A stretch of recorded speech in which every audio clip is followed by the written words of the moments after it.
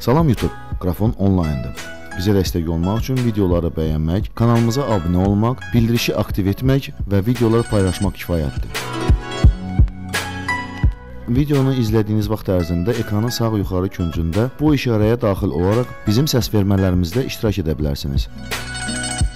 Başlayaq. Bu gün biz illər öncə yaranmış bir stereotipin darmadağın edilməyinə çalışacağıq. Mobil cihazlar bazarının yaranmasının ilk dövrlərində, yəni 2000-ci illərin əvvəllərində belə bir stereotip ortaya çıxmışdı. Çin malı, Çin məhsulu, Kitayskidir. Əvvəllər bu deyimlə razılaşmamaq olmazdı. Çünki 2000-ci illərin əvvəllərində Çin iqtisadiyyatı indiki kimi inkişaf etməmiş və Çin şirkətləri dünyada məşhur olan brend məhsullarının kopyan variantlarını öz no-name, dırnaqarası şirkətlərində keyfiyyətsiz istehsal edirdilər. O dövrlərdə mobil cihazların istehsalçıları Avropa brendləri Nokia, Siemens, ABŞ istehsalçısı Motorola, Cənubi Koreyanın Samsung, LG şirkətlərini sayılırdı. Yəni əgər cihaz Avropadan və ABŞ-dan deyildirsə, deməli Çindəndir, Kitayskidir. Sizə bir məlumatı çatdırmaq istərdim. Apple ilk iPhone-ları ABŞ-da istehsal etsə də, istehsal prosesinin baha olmasını nəzərə alaraq, daha sonralar öz istehsalını Çinə, Foxconn şirkətinə keçirmişdi.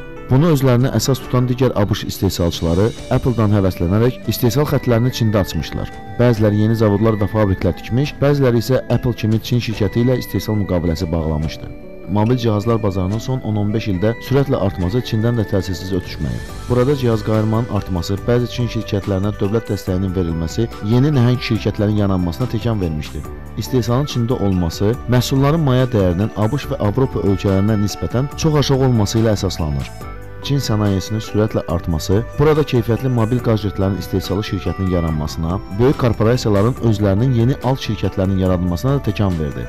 Məsələn, BBK şirkəti uzun illər məişət avadanlıqları istehsalı ilə məşğul olmuşdu və daha sonra bizə məlum olan Oppo, Realme, Vivo OnePlus kimi mobil cihazlar şirkətini yaratdı. Bundan başqa Xiaomi şirkətinin adını çəkmək olar. Bu şirkətin əsl adı Xiaomi-dir. Mənası isə Çin dilindən kiçik düyü deməkdir.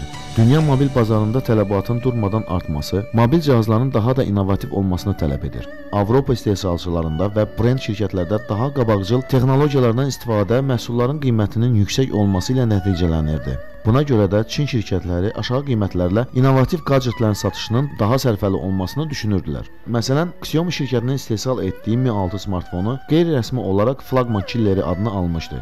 Çünki o dövrdə brend şirkətlərinin istehsal etdiyi flaqman smartfonları ilə eyni strukturda olmasına baxmayaraq çox aşağı qiymətlərlə bazarda təqdim olunurdu. Bundan sakitləşməyən Çin şirkətləri daha da aşağı büdcəli smartfonlar istehsal edən özlərinin alt şirkətlərini yaratdılar. Məsələn, Oppo şirkəti Realme, Xiaomi isə Redmi alt şirkətini yaratdı. Bu şirkətlərin istehsal etdiyi smartfonlar eyni komponentlərlə brend istehsalçının məhsullarından hətta 2 dəfə aşağı qiymətlərlə təqdim olunur.